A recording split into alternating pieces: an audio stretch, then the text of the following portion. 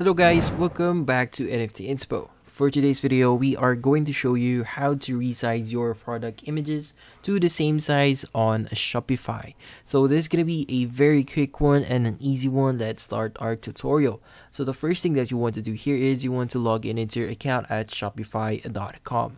So once you've done that, uh, navigate yourself at the left side of your screen and here you'll see the section that says products. So just click on that and from here you want to locate the product that you want to resize the photo or image for. So for example i have this perfume product here. Just click on that and from here you want to navigate yourself into the media section. So for you for you to actually uh, change the image size you want to click on the image itself here. So when you hover over it you'll see the expand button there. Just click on that.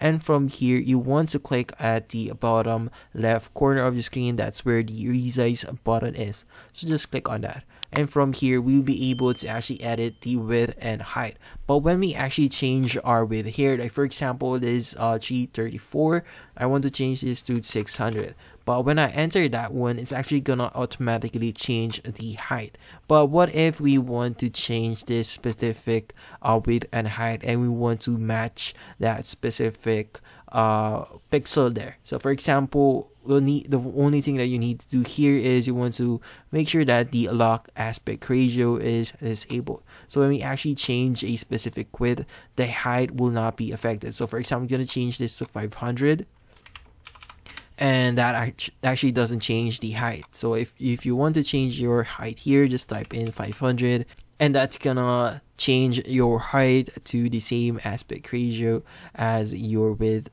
and height. So basically that's it. So hopefully this video was able to help you. Like and subscribe to NFT Inspo. Thank you for watching.